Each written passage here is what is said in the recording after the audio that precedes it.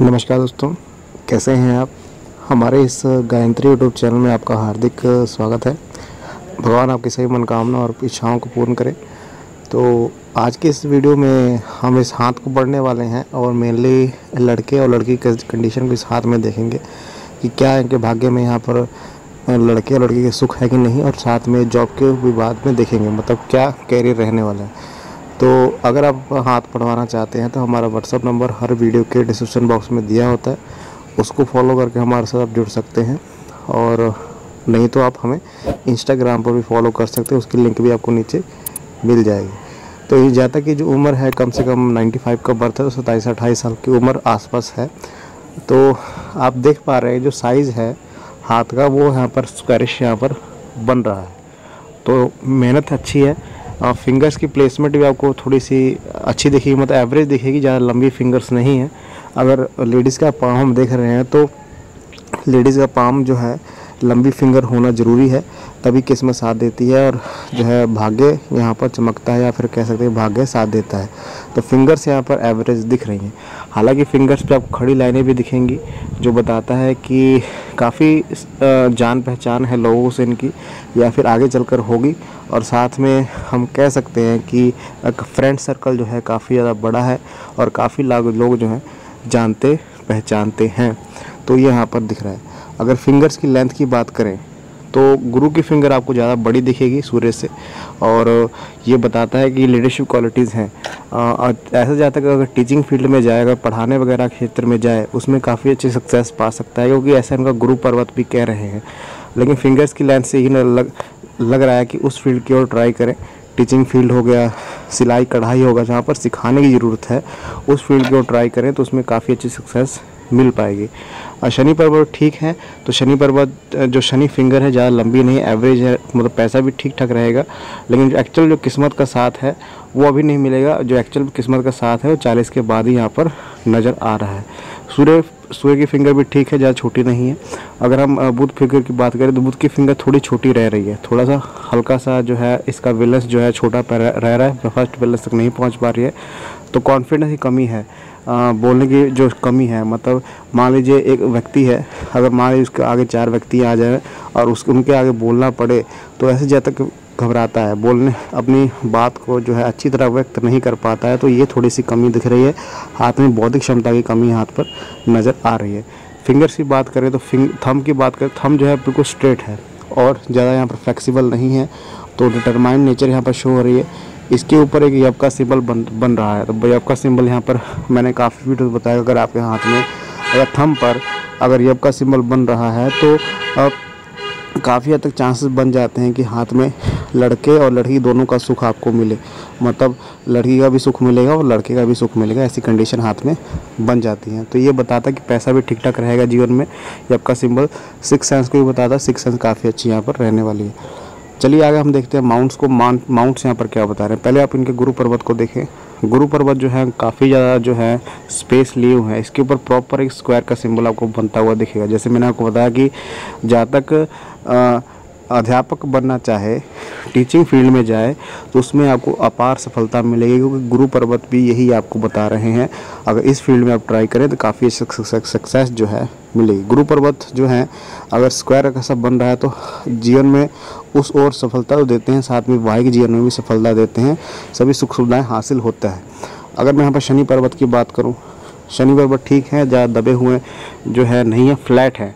और इसके ऊपर हल्का सा ऑफ़ वीनस बनता हुआ दिखेगा, जो बताता है कि बचपन में काफ़ी दुख तकलीफ़ें इन्होंने जो है फेस की हैं। और जो जिम्मेवारी का बोझ है, जो बचपन से ही इनके सर पर है और काफ़ी ज़्यादा डिपेंडेंट जो है, ये ज़्यादा लगता है और सीरियसनेस भी यहाँ पर काफ़ी ज़्यादा है। लेकिन जो कलर ऑफ़ वीनस बनता बनता है तो कभी कभी अग्रेशन भी जातक में काफ़ी ज़्यादा आ जाता है, जिसकी वजह से कुछ नुकसान अपना ही कर बैठते हैं, ये क्वालिटी हाथ पे नज़र आ रही है। अगर भाग्य रेखा की बात करें तो एक्चुअल में जो भाग्य रेखा है वो पैंतीस के बाद, पैंतीस के बाद एक्चुअल रेखा, भाग्य रेखा यहाँ पर पहुँचती आपको दिखेगी यहाँ पर। तो पैंतीस के बाद, जैसे मैंने आपको बताया, पैंतीस चालीस के बाद जो है पीरियड काफ़ी अच्छा रहेगा लाइफ का। अगर मैं सूर्य रेखा की बात करूँ तो सूर्य रेखा ठीक है फ्लैट है, इसके ऊपर सूर्य रेखा तो है, लेकिन हल्की सी काटी जा रही है काफ़ी रेखाओं से तो मान सम्मान पाने में थोड़ी सी दिक्कतें आएँगी, अधिक परिश्रम करना पड़ेगा। को, जो सफलता है आसानी से यहाँ पर मिलने वाली नहीं है। अगर यहाँ पर बुद्ध पर्वत की बात करें तो बुद्ध पर्वत के ऊपर आपको दो खड़ी लाइनें आपको दिखेंगी, जो ऐसे जातक को संतान सुख के बारे में बताती है। जैसे इनका मैंने क्वेश्चन से मैंने एक वीडियो भी कवर की थी, जिसमें मैंने बताया था कि जातक जो है ख़ास तौर पर लेडी पाम में, अगर बुद्ध पर्वत पर आपको खड़ी लाइनें दिखती हैं, एक से ज़्यादा खड़ी लाइनें दिखती हैं तो जातक को पुत्र की प्राप्ति होती है। ऐसी कंडीशनें काफ़ी हाथ में देखी गई हैं। अगर हम बात करें आगे चलकर इनके शुक्र पर्वत की तो शुक्र पर्वत ठीक है, कोई ज़्यादा दबा हुआ नहीं है, और इसके ऊपर खड़ी लाइनें कम है तो अपॉर्चुनिटी लाइफ में कम मिलेंगे। ऐसा नहीं कि मौके ज़्यादा मिलेंगे, और चीज़ें हासिल हो जाएँगी, लेकिन लेट रेंज में। अभी नहीं, अभी थोड़ा स्ट्रगल यहाँ पर दिख रहा है। चलिए आगे देखते हैं इनकी लाइनों को, लाइनें यहाँ पर क्या बता रही हैं। पहले आप देखिए यहाँ पर इनकी जो मस्तिष्क रेखा है और जीवन रेखा काफ़ी अलग चलती हुई आपको दिखेगी। तो जहाँ तक बहुत ज़्यादा अग्रेशन है अग्रेसिव है। साथ में अपनी मनमानी करता है। जहाँ तक जो है, काफ़ी ज़्यादा ज़िद्दी है, ये यहाँ पर देखने को मिल रहा है। और काफ़ी ज़्यादा फैसले जो हैं, ऐसे ज़्यादा तक खुद लेता है। मतलब ज़िंदगी के फैसले जितने भी हो गए छोटे मोटे फैसले जो हैं, जहाँ तक खुद लेना पसंद करता है और जहाँ तक ज़िद्दीपन होने के कारण लाइफ में कभी कभी नुकसान भी देखने को मिलता है। क्योंकि आपको ये साइन तो दिखेगा, साथ में आपको लाइनें भी कुछ जो है आस पास जो है कट, कटती हुई दिखेंगी, जो ये एग्रेशन को दिखा रहा है कि हाथ में एग्रेशन काफ़ी ज़्यादा है। तो आप एग्रेशन पे कंट्रोल करें, नहीं तो आपको काफ़ी बड़ा नुकसान यहाँ पर देखने को मिलेगा।